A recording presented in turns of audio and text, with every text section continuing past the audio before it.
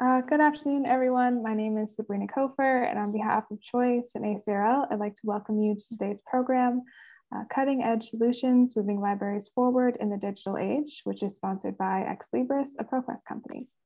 Uh, today's discussion is one in a series of sponsored webinars from Choice and ACRL that addresses new ideas and developments of interest to the academic library community. Uh, before we get started, I'd like to point out just a few features of the webinar software. Uh, all of the attendees who join the presentation are automatically muted and your cameras are off, so no need to worry about generating any noise or feedback. We've got that taken care of. Uh, in the main area of the screen, you can follow along with the presentation materials. Uh, we're using the Q&A feature today. Uh, please use it to ask questions of our presenters. Uh, we do expect many questions and we likely will not have time to get to all of them, so we apologize in advance for that. Uh, but that being said, we'll answer as many questions as we have time for at the end of the presentation. So please do type your questions into the Q&A module as they occur to you. Uh, also note that there is closed captioning available for today's session. To toggle the automated captions on or off, please use the CC button on the bottom right corner of your screen. Uh, also note that we're recording today's program and everyone who registered should receive a follow-up email with a link to the archive version. And with that, we're ready to get started. So I will pass things over to Mike. Wonderful. Thanks so much, Sabrina. Uh, hi, everyone, and welcome to this webinar. I'm Mike Richins, Director of Product Management at Ex Libris, and I want to note my sincere appreciation of your attendance today and hope we can provide you with information that will prove to be interesting and useful in your own practice and work environments. I also want to thank ACRL and Choice for working with us to schedule these events. So joining me today are two great colleagues, Greg and Judith. I'm excited to be presenting alongside with them both. Uh, they both have extensive experience and knowledge on the topics we are covering today. So I'm gonna ask them to introduce themselves. Uh, maybe over to Greg first. Uh, hey everybody, I'm Greg. I'm Associate Director for Access and Digital Services at University of St. Thomas in uh, St. Paul in Minneapolis here in Minnesota. And hi everyone, my name is uh, Judith Fraenkel. I'm Director of Product Management at Ex Libris. Thank you for having us today. Right, thank you both. So here's what we have planned for today. If we can move to the agenda slide.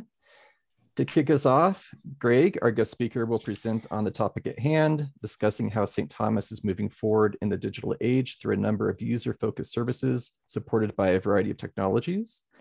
Next, we'll have an open discussion on an exciting and critical topic, the future of library resource sharing. The, we will then shift focus to another topic that has generated a lot of interest in discussion as of late, controlled digital lending. Finally, we'll end on Q&A, so please ask questions over the course of the presentation through the Q&A box, and we'll do our best to answer either during the presentation or in the Q&A section.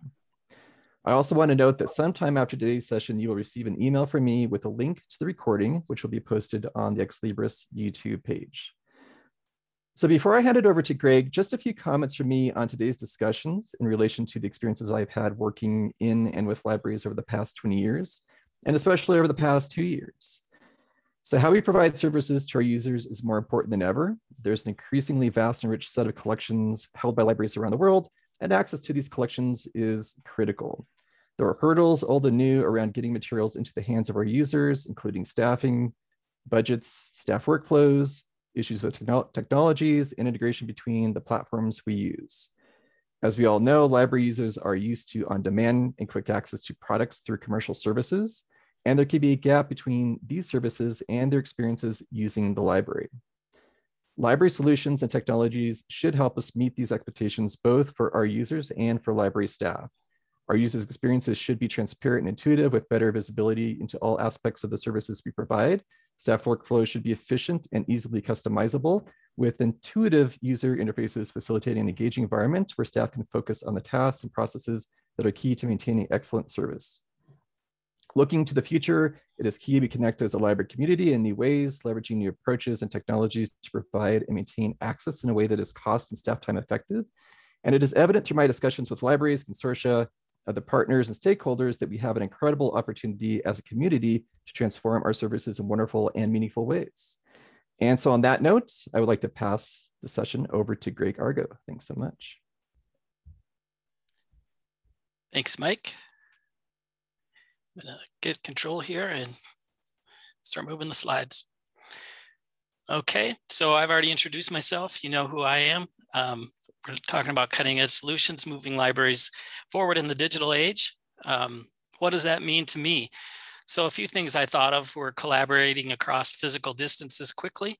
Uh, this is both in something like managing requests in uh, Rapido, but also doing things like collaborating with a professor on our Rome campus to push out a reading list ASAP via Leganto. Um, he was struck out with the bookstore, but we were able to take care of that real quickly for him with our cool tools. Um, increasing delivery speed and serving with attention to the attention economy. So we're paying attention to how much attention people are paying to us. Um, you got to be quick and clear and easy uh, removing friction from interfaces and processes as much as possible, also increasing transparency in services and meeting expectations, largely driven by experiences people are having with e-commerce e-commerce sites, um, and being where users are.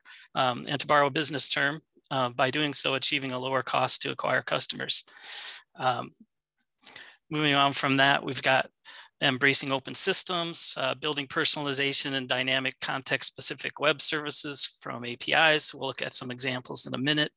Um, also on being where users already are, um, integrating with library man or learning management systems, sorry, and collaborating on course delivery processes.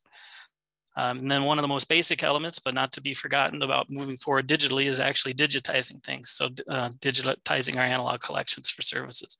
And finally, something I didn't put on the slide, but sometimes you move to move forward, you need to make some changes to systems. So being willing to migrate, having openness and flexibility is a necessity.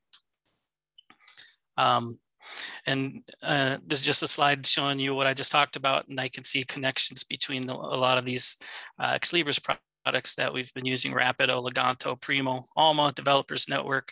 Um, we're making good use of these tools and I hope to show you um, how we're doing that.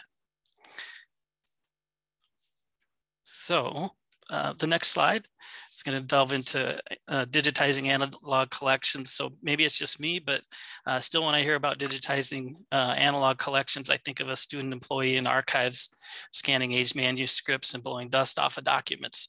Um, here, I'm not talking about that. I'm talking about digitizing analog collections with speed on demand to meet the immediate needs of users. Um, we're looking here is uh, some request options that my users can see in Primo. So in Primo, we've got digitization requests set up for our own materials. Um, and then we also have a Rapido offer here at the bottom.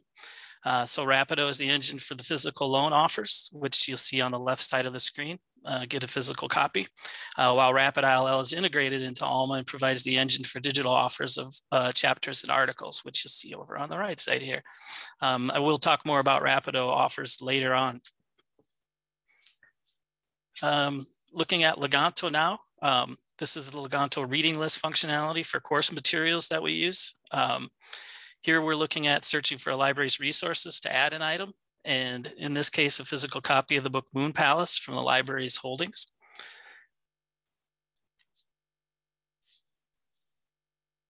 Sorry, I've got a little bit of lag on my slides. um, let me check going back and forth.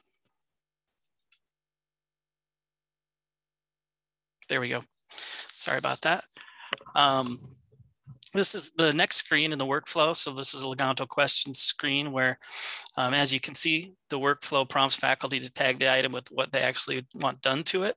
Um, and here we are, they're requesting to digitize a fair use portion.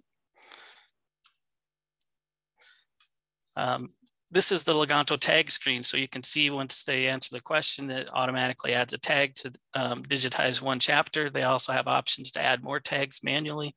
For instance, perhaps this professor wants to supply a personal copy to the circulation desk that's different than the copy we have or something like that, or any of these things they can uh, request from us.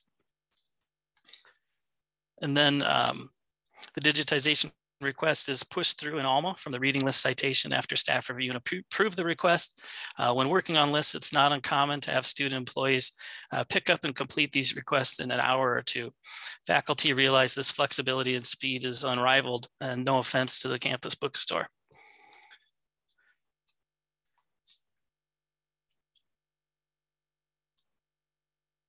Okay.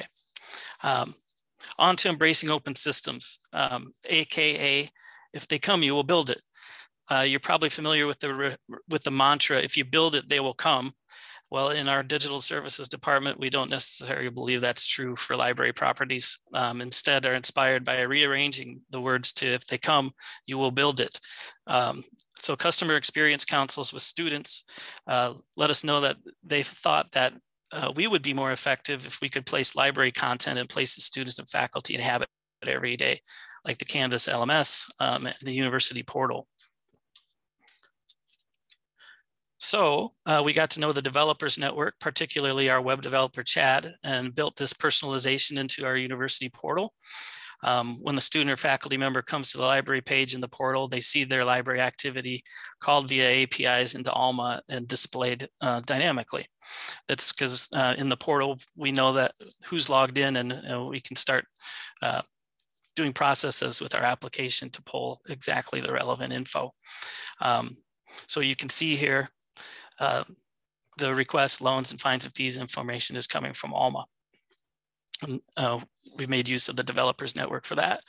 Um, and then uh, at the bottom, if we expand one of the courses in the My Course Resources section, we pull in this content dynamically with Springshare APIs to give students very relevant starting points to the research and awareness of their subject librarians that semester. Um, along with um, using the APIs to build things. We also want to be in Canvas and, and, participating in course delivery. So this is more if they come, you will build it territory. Um, and also has been a good reason for us to partner with instructional designers on uh, course delivery of library content services. Um, so this is Library Help. We actually developed this before the personalization feeds. This is an application of LTI application actually in Canvas we built and it dynamically provides relevant starting points. Um, like you saw earlier, and also pulls in readings, uh, course readings, a different view of them all, from Alma, in addition to the Springshare LibGuides account. You can see the resource list uh, stuff at the bottom there. Uh, this was adopted into the default campus course template during the switch to online in the spring of 2020 and um, has gotten our uh, librarians quite a bit of exposure. Um, and then uh, finally, uh, thankfully, Ex Libris built Leganto. We didn't build this, uh, and it integrates directly into Canvas courses. Uh, we market it only within Canvas instead of using the standalone interface, uh, which has necessitated the collaboration with instructional designers, which itself has, uh, the relationship there has led to a better position for our libraries in teaching and learning. Um, you can see a few of the different kinds of content you can deliver in Leganto, uh, an article link here with the access online link. And then uh, uh, that goes into our databases and then also a digitized file here, which can be downloaded or viewed uh, directly in Leganto. The last piece on Leganto is on student savings. This is a page from our annual report showing how much Leganto adoption by faculty has saved our students and demonstrates the impact we're having. Of course, student savings are important, but even more important is uh, what it actually leads to, which is removing a barrier to reading. And it makes students uh, more likely to be engaged with their course content if they don't have to pay for it. Okay, so now I'm moving on to increasing delivery speed and attention to attention. Um, this is where I'm going to go into talking more about Rapido. Uh, this is about being user-centered and understanding the processes need to be quick and easy or they'll be abandoned. Um, so with focusing on Rapido here, I'm going to provide a deeper understanding of the problems we think Rapido solves and its impact on our users and staff. So if we look back a year or two at the position of ILL service at St. Thomas, um, we had a really good reputation and we still do, uh, but we thought it could be even better than people imagined. So we were glad to see uh, movement in the resource sharing market. Uh, we were really interested in seeing what was available. Um, looking at our service, we felt it was a bit separate, like it's a last chance bolt-on service, not that greatly integrated into the researcher's flow. It's a separate system and account uh, outside of main library system for the uh, researcher to deal with. The discovery usually happens elsewhere. That stitching together systems can increase fail points. Uh, demand is kind of handled by other libraries by default without taking advantage of other services that we may have in the, uh, the system. And just having confusing request options in discovery. Our consortium really suffered from that for a number of years. Um, so you can see the roadblocks to researchers here also are, you know, like we had a discovery default search that was limited to only owned and subscribed materials. Uh, we had an expanded search that only included electronic materials. That's not great for all disciplines.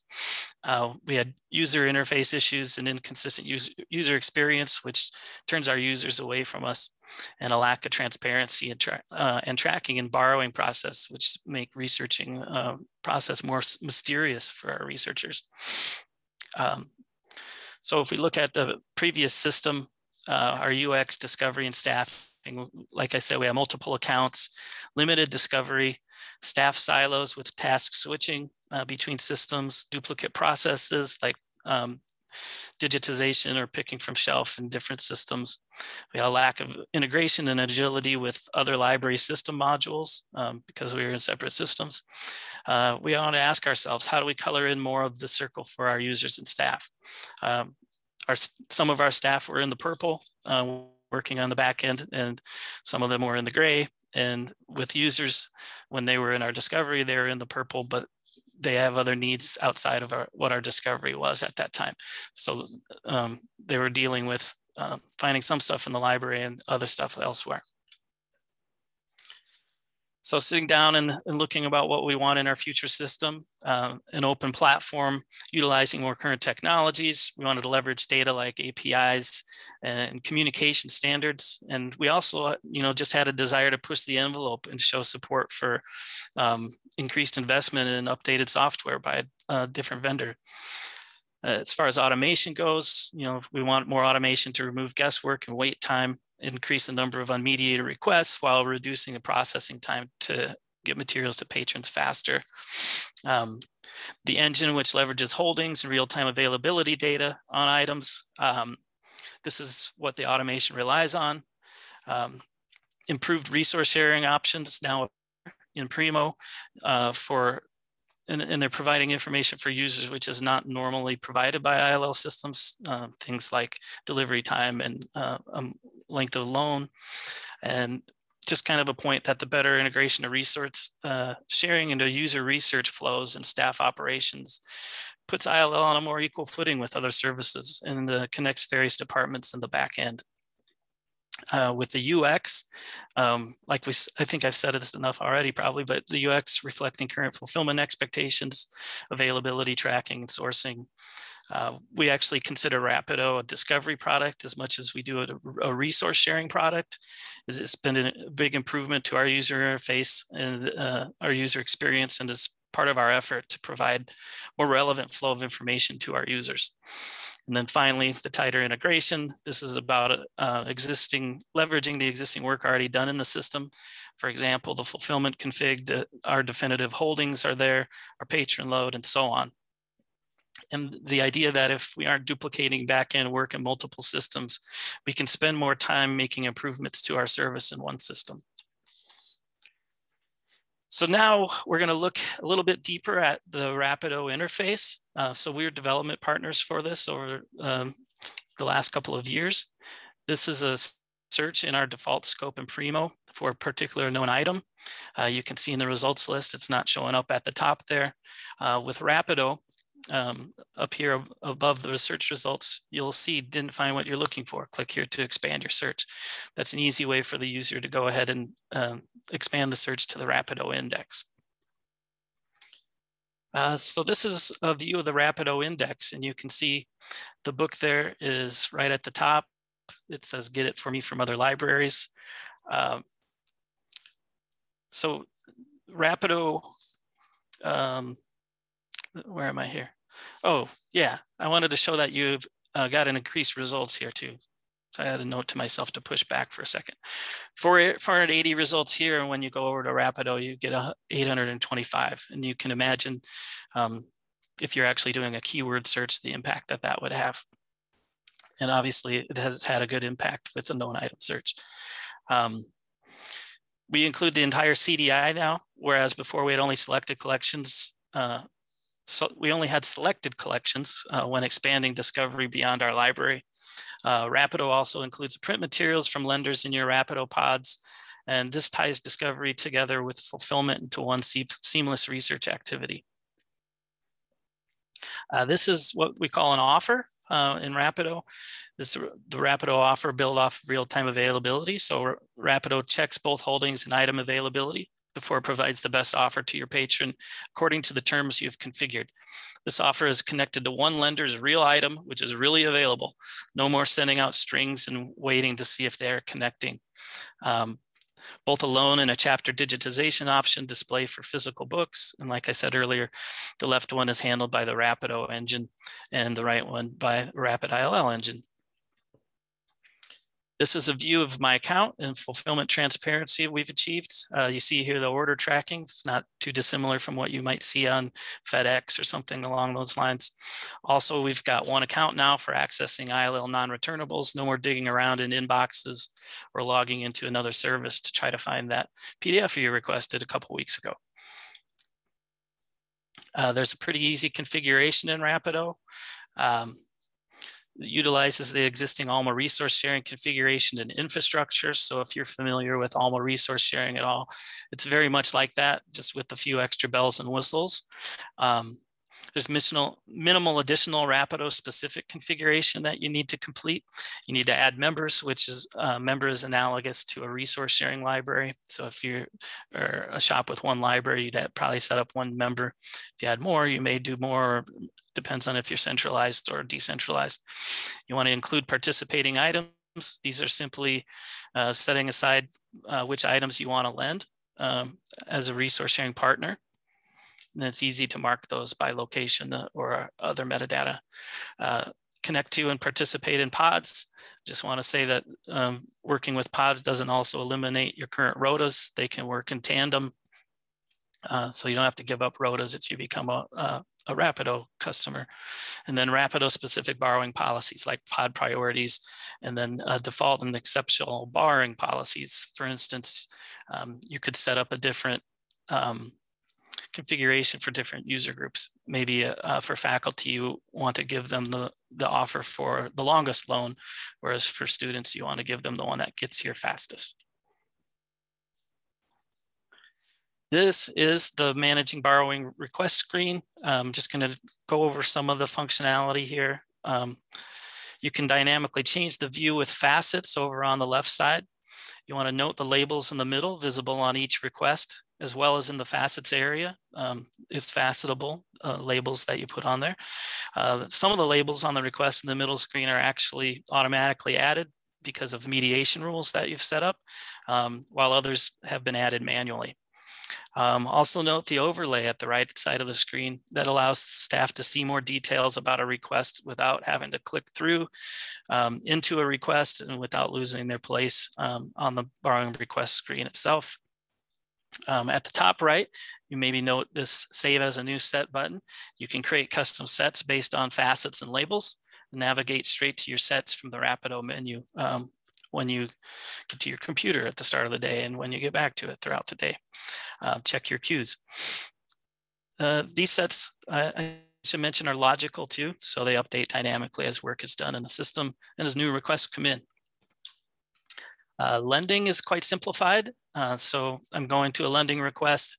I can easily go to the menu, click download electronic resource, um, be routed to our Get It screen, which will give us options for accessing, go into the database, uh, download the thing, and ship the item digitally from the same menu.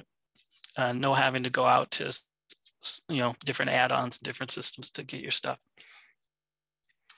Um, and a little bit about Rapid ILL. Um, so this really helps a lot in automation. It's Rapido's engine for article and chapter requests, all integrated into Alma um, if you're a Rapido customer and haven't been a Rapid ILL customer before, um, all you know, all your stuff happens in Alma. You don't actually have to go into Rapid ILL. Um, what Rapid ILL brings is um, a reduction in um, things that need mediation. So you can send requests out and if you know the metadata is full or whatever, um, you can connect pretty quickly with uh, a partner and they can start turning that around. So it automatically checks your local holdings and open access first and then routes only to a partner who owns and can lend it. within 24 hours. Uh, so there's a 24 hour service commitment and a 12 hour average turnaround time or so. It's really easy to expose the holdings you wish to share via a publishing profile in Alma. Um, and one of the nice benefits, uh, uh, Rapid is indexed to the year level instead of the title level, so it'll be much more accurate. Uh, there's a resource sharing directory that's uh, been a recent addition to ALMA. Uh, it's a, a, list of ALMA institutions that do resource sharing and it's available to all ALMA institutions, not just rapid institutions to copy and to um, use to expand their resource sharing network. Um, any ALMA institution can define their own resource sharing member and then publish to the community zone. And then any ALMA institution can also go to the community zone and find members. Uh, this eases the peer-to-peer -peer relationship setup. Um, obviously, you still need to ask the other partner if they want, want to work together. Um, but this is uh, this saves a lot of trading information back and forth to set up partners manually. Um, in addition to creating easier peer-to-peer relationships. Um, it's also an opportunity to facilitate reciprocal regional pods. Uh, so uh, wrapping this up, um, we have got some process changes that have come about by all these changes we've had recently, um, both to our consortium and in Rapido. The pick from shelf list now organizes most access work, services work for every shift. Um, borrowing is less of a process of wait and see. We've got no more transiting of branch items to central ILL department for scanning and mailing. Um, and requests meeting certain criteria can be routed to acquisitions for purchase. On the staffing side, all access services staff now contribute to troubleshooting, digitization, and document delivery. Uh, the student workers from the CERC and ILL silos um, merged and digitization uh, now needs to move from a specialty skill that a few students have to a score core skill that all of our students have. And uh, we're still working on that, but um, we're better than we were a year ago. Uh, spreading responsibility among branches, I found um, all of ours, we've got four libraries here and they're all resource sharing libraries of their own and, and they're able to uh, sustain all their own interlibrary own uh, interlibrary loan materials and activities. Uh, it's easier to train and manage when all the work is in one system, and it, it feels sort of like when we went to Rapido as an extension of what we were already doing, as opposed to having a complete different system that we have to stitch together. Main CERC staff handle the by the book requests and the ILL program managers handle difficult exceptions and advanced mediation and other administrative tasks. Uh, so where are we currently? Well, we have expanded discovery. We have an improved uh, user experience. We've been able to remove silos and access services, uh, strategically address materials budget cuts, um, and we've got increased patron confidence and satisfaction. And uh, we got the whole circle purple. So we're happy about that. that's all I have for my presentation. Wonderful. Thanks, Greg. Uh, appreciate that presentation and everyone uh, keep putting questions in the Q&A and we'll, we'll definitely uh, answer them. So moving on to the second section, uh, the future of resource sharing, uh, this discussion. I, I want to start it off first um, talking about a topic that I'm very excited about uh, for the future and one that Greg noted a couple times in his presentation, and that's Rapid ILL. And I've had a lot of discussions. We've had a lot of presentations recently around uh, controlled digital lending, uh, Rapido, and a lot of folks are like, what, what, what's going on with Rapid ILL? What does the future look like there? So I want to spend a couple of minutes talking about that. So one of the great things about Rapid ILL recently is the growth. So over the past about two years, we've added nearly 200 libraries. So we're now nearing about 550 community members uh, worldwide. Uh, a lot of libraries have leaned obviously heavily into resource sharing during the pandemic. And, and so we've seen a lot of libraries join Rapid ILL to help support uh, their interlibrary loan services. And a lot of growth in North America, of course, but we've also added some libraries in Latin America, a lot of libraries in Europe, including a large and growing group in the UK, uh, the Middle East, and uh, libraries in Asia Pacific. So a lot of new libraries have joined the, the platform. Very exciting. And of course, every new library, new, new area, new country, you get access to uh, new collections. And also it helps us really uh, leverage the technology of the system in terms of providing 24-7 uh, coverage. So the system does advanced load leveling, a time zone awareness for routing. And what we've seen over the past few months is that the actual turnaround time of the system overall has been reduced. I think Greg had it at uh, around 12 hours, maybe in this presentation. Over the past few months, it's been closer to about 10 hours. And in November, it was about 9.6 hours. Uh, so we're seeing that uh, turnaround time get even better. And I also want to talk a little bit about integrations. Uh, Rapid ILL is unique in terms of how it in integrates with other uh, platforms. Uh, we support integrations, as Greg mentioned, Rapido and Alma. We also have someone now that's using Rapid ILL through Koha. And of course, it's integrated with several other important ILL management platforms, uh, Clio, ILLiad, Relais, and uh, Tipasa.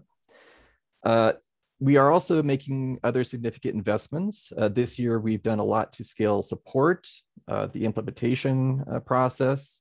We've done a number of developments to enhance the platform, including a lot around holdings, uh, copyright settings, and recently we've added additional services such as the Internet Archive. Uh, we ran a pilot with them earlier this year. They now are a lending member in Rapid. And as of yesterday, they just passed the 20,000 request mark. They've handled over 20,000 requests in Rapid. So I'm very excited about the future of Rapid ILL to see continued growth. And uh, I think it's never been a better time to join the community. So if you're not a Rapid ILL member and, and you're interested, uh, definitely reach out.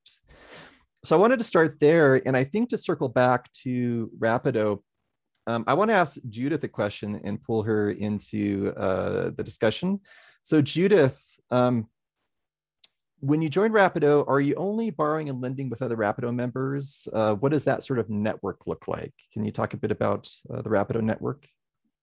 Yes, of course. So uh, one thing that I want to say uh, beforehand is that uh, we have four core uh, foundations in Rapido. One is the user experience, as uh, Greg showed you, the staff experience, efficiencies, etc. Um, future looking, and we'll talk a little bit more about that uh, later. And um, the fourth uh, pillar is openness, and uh, something that we like to call um, the resource sharing ecosystem. So Rapido uh, borrowing requests can be filled by Rapido uh, members as well as non-Rapido members. Uh, we have very advanced options to set your priorities for borrowing and lending beyond the Rapido scope. Uh, one of the questions that I was many times asked was when the first uh, Rapido customer went live, how could he have gone live if it was the only uh, customer using Rapido? Um, and uh, actually the, the answer to this is that um, Rapido knows how to integrate uh, with any, any system that supports ISO and NCIP uh, it of course integrates uh, with ALMA, uh, which also supports the standards. Uh, and it's really on our um, one of our most important uh, um, this is roadmaps is to continue to support uh, the networks of your of your library. We want to see you doing resource sharing with whomever you want to do resource sharing.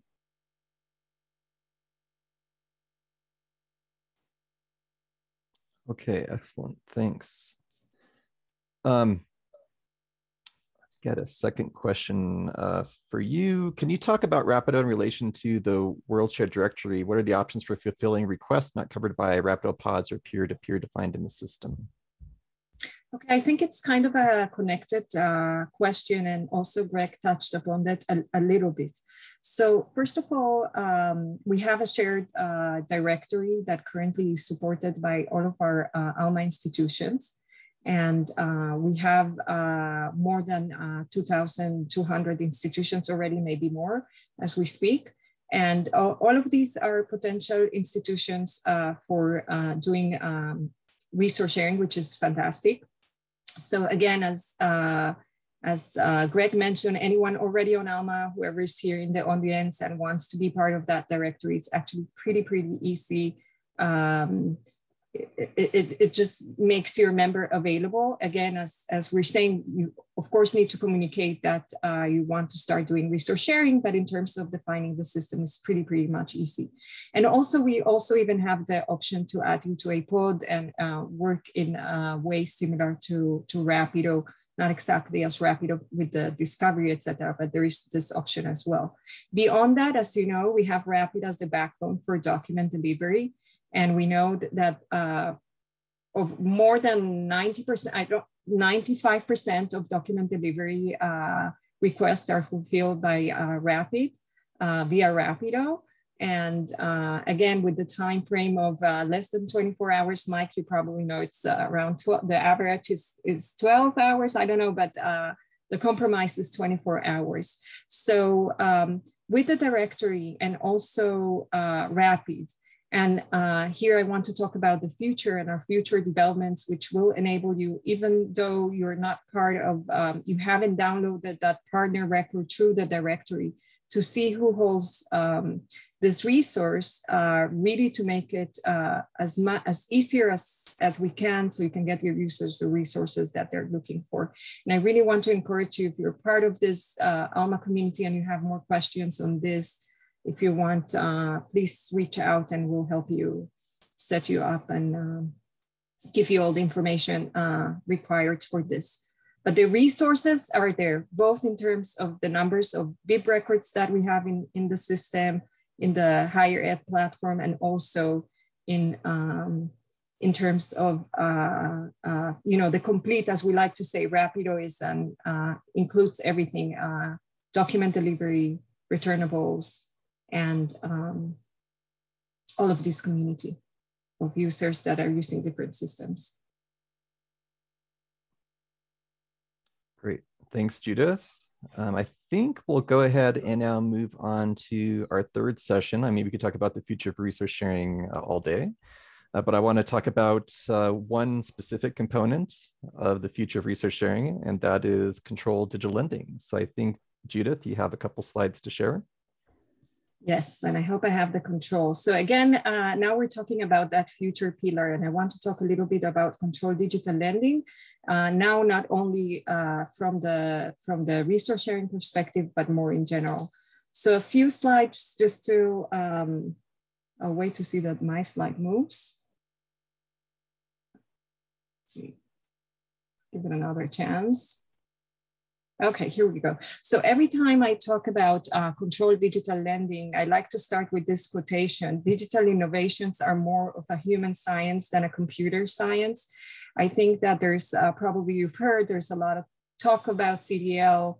Um, there are various forum, forums. And actually, one of the things that we've discovered while working on CDL, and we'll talk about what, what we mean really simplified, is it's something very simple. It's kind of I don't really understand how we weren't there before. Maybe it's related to us and not to the possibilities of uh, the future of uh, uh, the digital innovations that we have. So let's um, talk a little bit just to make it, uh, you know, our base for our dialogue here. What is control uh, digital lending? So really the, the easiest way to look at this is that we want to take the physical copy that we have at the library and mimic uh, the restraints of this copy and make available a digital copy that the library has created for this. This means uh, concepts such as on-to-loan ratio. So it means that you can only circulate uh, the number, number of digital copies that uh, uh you have uh, in the library. So if you have three uh, items in the library, and you have a digital copy, it means that at the same time, you can only give three digital copies. And of course, the circulating items are not circulating. So really mimicking uh, the material as it, as it was physical. Uh, so um, including, of course, prevention of redistribution of this material to any other person or, or any similar thing. But the real, the, the, the question behind the CDL is why CDL? And I think the most basic um, statement here is that we is we need to let libraries do their uh, vital function to society. So that libraries are lending uh, books to users and uh, they need to give access to them. If they're not breaking copyright uh, copyright rules, then they should be able to do this. And um, I think uh, the last two years uh, have been proof of this need. So I don't need to go into the COVID situation where this was uh, almost the only way for libraries to give uh, patron services. Uh, of course, we know already that uh, this is also a way to solve other issues such as print disabilities um, and, and other type of issues of this sort. There's the issue of the 20, uh, 20th century problem. You know that we have older books uh, that uh, cannot, will probably never be digitized. Um, and of course, uh, we want to make them available to our users. Um, coming from the resource sharing world, so I, of, of course, I will add this. Uh, some additional value to this is the quick lending turnaround. Again, the idea is not to um, uh, wrongly use the copy. But for example, if we think about uh, resource sharing, if you need to send a book and the book is not available during the shipment process until it's received, until it gets to the user, really, if we could make things easier without breaking any kind of rule, this would be uh, fantastic. There's a big movement of print conservation. So we know that there are collections that we don't want to be seen circulating.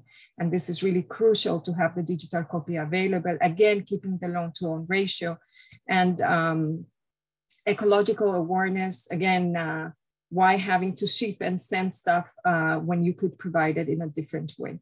And really, we're talking about very, very, very small numbers. We're not talking about uh, uh, uh big uh, numbers of copies. It's it's something that is the scale of it is really, really minor, but important, crucial. So uh, what are our focus areas? We're working on all of our uh, products. So uh, of course, uh, through uh, course resources and the Alma-D, uh, we have already, there's already functionality there that provides short-term access to um, digital copies that you have with a patron waitlist. Again, keeping the own-to-own ratio and not in enabling um, various patrons to keep in a line, in a queue, so they can get the item. It's really interesting. You can read more about this in our uh, documentation. We're now working uh, on uh, general circulation for long terms uh, for long-term lending, and again, uh, a lot of um, in, uh, in, we're focusing on that own to loan to own ratio and also to keeping mimicking the restrictions of the long term. So if the item can be loaned for 28 days, then this digital copy should lock the item and also um, uh, the item should be loaned for 28 days. Um, and in, in my world of uh, resource sharing in Rapido, uh, we're also uh, working on this development, again, keeping in synchronization all of the systems around you. So if, uh, if you're sharing a CDL copy that you have, through all of the Rapido functionalities like a pod where you're saying, I can, I have all of these items that have been CDL. I want to make them available. You can provide a CDL copy, but keep it, um, keep the item locked uh, for the period of, uh, of being um, shared. So um, this was really fast. Uh, last uh, two, uh, I think the last slide that I have is uh, that we have a CDL advisory group many, many of our best features have been developed uh, with our community. And uh, actually, we're working uh, with a very strong team of uh, people that are helping us see how this evolves. Greg is part of our team here. Um, and just to give you a little bit more of information, we're divide, we are a big group and we work together, but we also have subgroups that are dealing with different topics such as uh, copyrights, uh, circulation, resource sharing, each on, on their own area. So I think this was, I believe this was my last slide uh, on CDL. And uh, Greg, since I have you here, maybe we can uh, engage in a little conversation. I wanted to ask you, um, how do you envision CDL impacting the world of libraries? Sure. Um, I almost talked with without my mute button turned back off, but didn't thankfully. Um, I'm the king of that. First of all, it will make libraries better able to accommodate people with barriers to reading the printed page, um, or even people walking into a physical library. So, for accessibility reasons, it um, will have a big impact. Second, I think it'll be a, a good test run for sharing of ebooks some libraries like ours have negotiated licenses, so we have the ability to share some of our ebooks. We don't really have a good way to do it. So I think CDL could pave the way, so to speak. Um, third, it will allow us to circulate and consume books in different ways, uh, uh, things we may not understand yet. I'm a music junkie, so purchase new LPs, LPs and cassettes and appreciate using the physical medium, but love how they come with the MP3 version and a streaming version if purchased through the Bandcamp platform. This is sort of analogous. Our users will be able to choose the mode of delivery while libraries can maintain a one-to-one uh, loan-to-own ratio. So those are some ways I could see it impacting us. So from what I hear from you, uh, I was going to ask you how do you see your CDL integrated into your institution, but actually I think uh, you really see this happening. Are you already doing some work on CDL or? No, I am not, but I'm looking forward to it. Um, you know, I think that we would look for low hanging fruit first, items that are waiting for mending, items needed for course reserves, maybe even highly circulated books. Um, not sure whether we could offer digitization on demand or not. And I know that's part of the CDL discussion um, is how you present yourself as a lender. I think there'll also be surprises that only occur to us after doing it for a while and, and working with colleagues. So for example, just on uh, Friday, I met with our university's new accommodation specialist about supporting a course with the Leganto resource uh, list. I found out that her department has a boneyard of around 300 physical books they've digitized for students with needs for accessibility accommodations in past courses. I told her about uh, CDL up and coming and asked if they would be willing to gift those bones to the libraries. Um, and then perhaps we could use those to seed uh, our CDL collection and it sounds like we'll be able to make a deal. Oh, wow. That's interesting. Thank you. Yeah.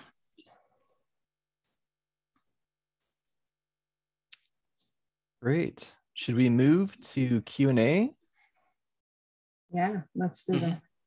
Excellent. So we've had a number of questions come through. Uh, first question uh, for Greg. I lost it. Oh, here it is. How did Leganto remove barriers to reading and save you money? Yeah, so um, it saves students money. Didn't necessarily save us money, but I guess the principle is um, a student has $60 in their pocket and they either will, will buy the textbook at the bookstore or um, maybe they'll buy a new pair of pants or something. Well, um, it's the urge sometimes is stronger to buy the new pair of pants than it is to buy the textbook. So um, if we're off, able to offer that uh, text or, or something in our Leganto reading list, which is free of charge, uh, no additional charge to the student from our library collections, or, or we even can go ahead when we see a faculty want something and try to purchase it uh, for use in the course, then um, the student will be able to engage with the content and they'll be able to do it while wearing their new pants. So, so they'll from going from having no likelihood of reading it because they've got the new pants um, to being able to do both. Uh, you know, I think that that easily being able to provide um, information sources and, and text and stuff like that for free is is uh, something that's going to lead to better engagement with materials. Excellent. So Judith, you answered this one in the chat, but I'm going to bring it back up because I think it's uh, an important question. Is Rapido supposed to be in place of using Tipasa or other ILL management platforms? Yeah, thank you. I really also wrote it pretty shortly. Um, so from, from the beginning, Rapido was built to replace all of your current existing resource sharing solutions. So Rapido is many, many things uh, at the same time as uh, also Greg mentioned it. So it's, it, it, starts from discovery, bringing a lot of um, value to discovery itself, itself. And it ends up uh, being also uh, managing the borrowing request created by the borrower with this experience, unified experience of uh, for him, making it easier and it also acts as a broker, uh, finding the right partner for you.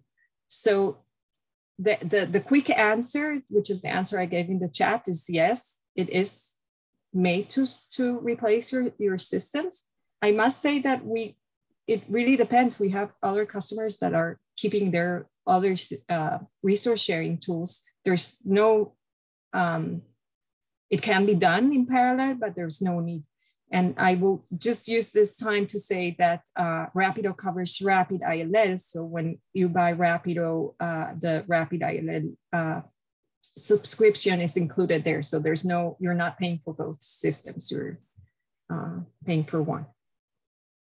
Okay, great. Uh, another one he answered, Rapid ILL can integrate with WorldShare. I think they mean uh, with Tipasa. Can Rapido integrate with WorldShare as well?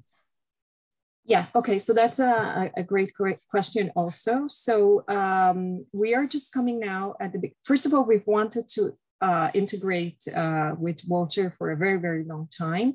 And um, one of the complications it was uh, the fact that uh, they, they didn't support uh, the standards.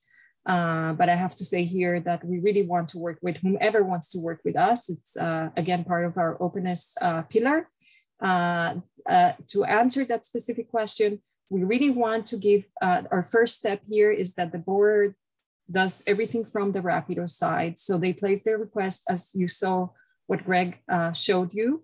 And if it's not found on the various different uh, ways to find uh, who, who has it, either to the Rapido pods, to peer-to-peer -peer connections, or any other options that we have there, uh, will be able to set, you will be able to set uh, WorldShare as your last resort. So it will be pushed at the end to Walter if you want to, if you have that, uh, uh, if you're continuing to pay to Walter. So that's happening at the beginning of this year, which is fantastic news for, we're happy to have that integration. Yep, that's great. Okay, moving over to, to some CDL questions. I don't know the answer to this one, so I'm not sure if this is Greg or Judith, but uh, how do you manage digital files that library the library has created in response to patrons' requests for a digital copy?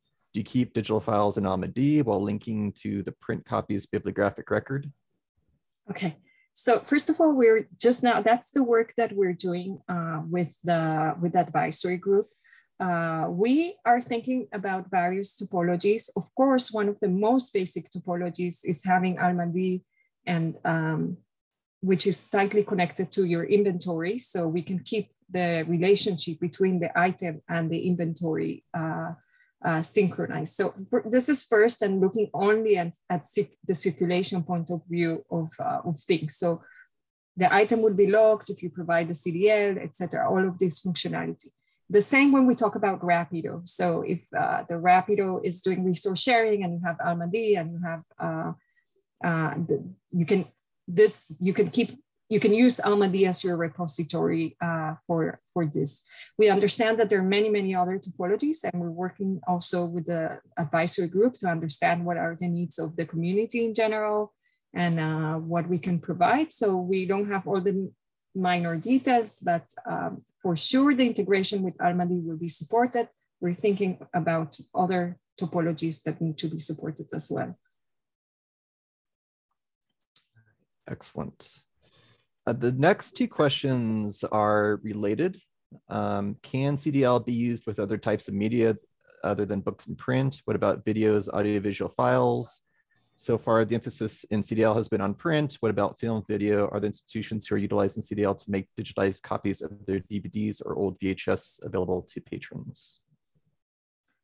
So really the practice up until today mostly has been really focused on physical, but there is talk about other, as Greg, Greg was mentioning, music, uh, etc.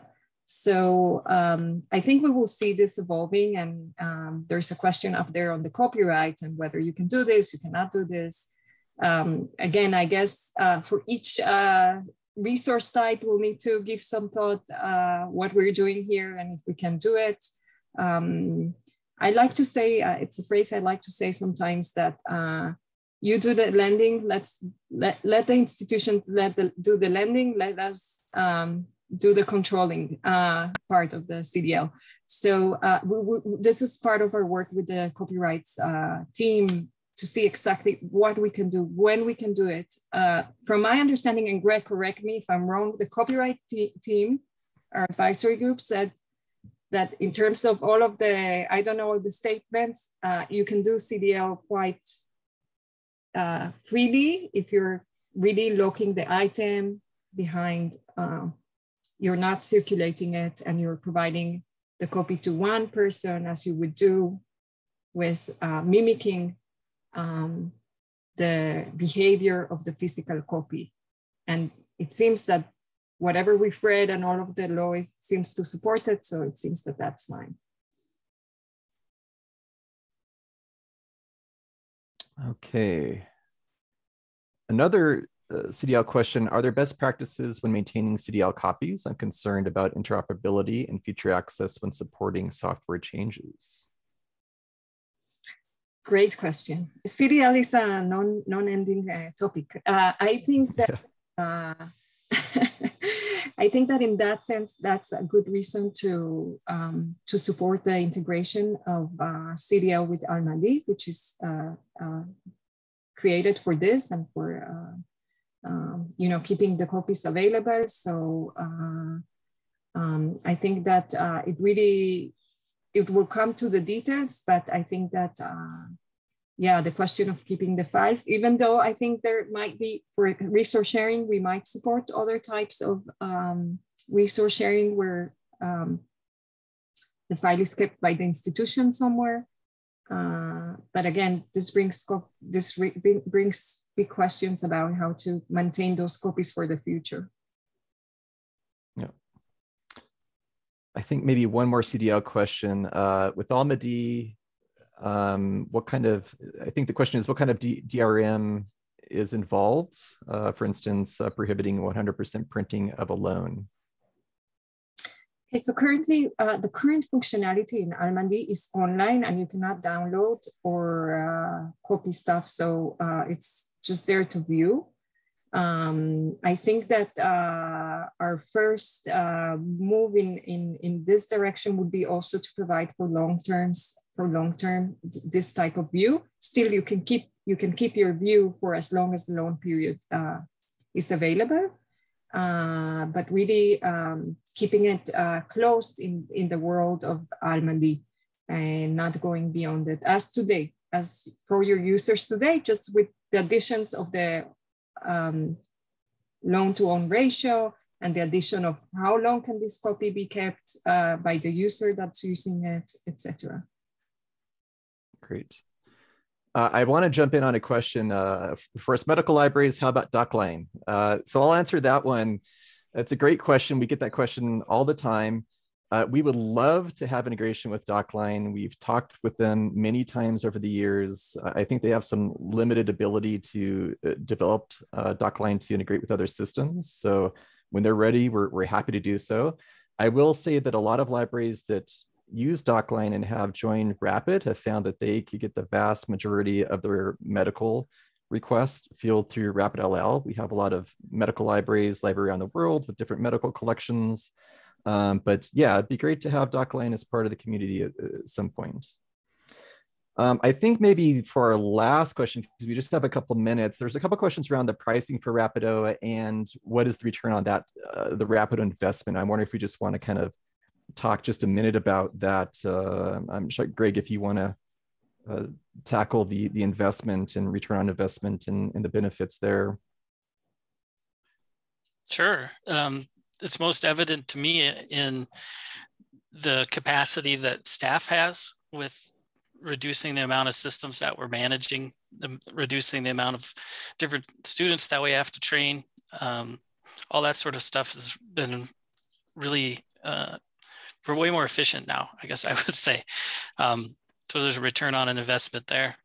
Um, and then, you know, like I don't know how you measure um, being able to turn around items um, in, you know, 10 hours as opposed to two days, but there's obviously some impact for our users there too. Okay, excellent. I think we're about at the top of the hour. Should we wrap it up? Okay, I think so. So uh, from my side, thanks everyone for partic participating in uh, the webinar today. Really appreciate it. Uh, thanks, Greg. Thanks, Judith. Thank you, Sabrina. Thanks, uh, ACRL Choice. And thanks everyone for, for joining us. Um, just a really nice discussion and, and it was nice to talk with all of you. Thanks so much, Mike. Uh, this is Sabrina from Choice and ACRL. Thanks so much to Greg, Mike, and Judith for taking the time to present today. And thanks to our attendees for your questions and comments. Uh, really informative discussion. I'd like to remind our viewers that we did record today's program, so be on the lookout for a follow-up email from Choice and ACRL with a link to the recording. Uh, also, a few minutes after the presentation to fill out a brief survey. We really appreciate it. Uh, your responses help us improve our presentations. Uh, so thanks again to all of you out there for joining us. Uh, we hope you learned a little bit from the session and we hope to see you again in the future on another webinar.